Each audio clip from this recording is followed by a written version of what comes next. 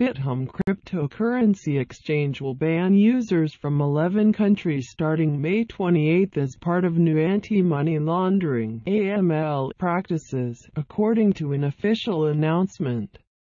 In a press release issued May 27, Bithumb confirmed that citizens of states comprising the Non-Cooperative Countries and Territories NCCT initiative will no longer be able to use its services.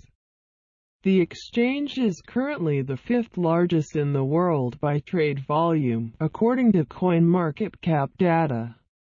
New account applications will be refused from Monday, while any extant accounts will disappear by June 21.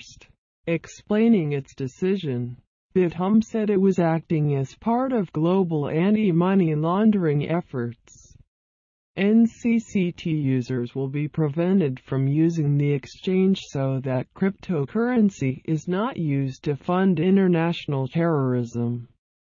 The press release added, the NCCT involves countries that do not comply with AML standards set by the Financial Action Task Force on Money Laundering FATF, a structure set up by the then G7 in the 1980s.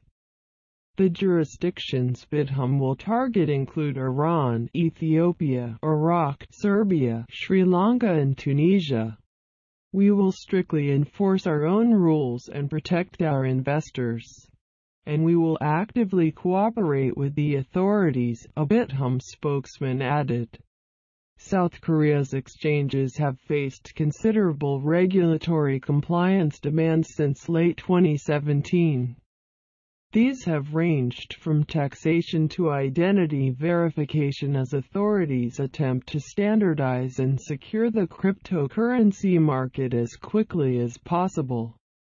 Bithumb also continues to propagate cryptocurrency usage at home, Cointelegraph reporting in April on its ongoing partnerships with major businesses to further acceptance. Thank you for listening to my channel. Please subscribe for get hot news in the world.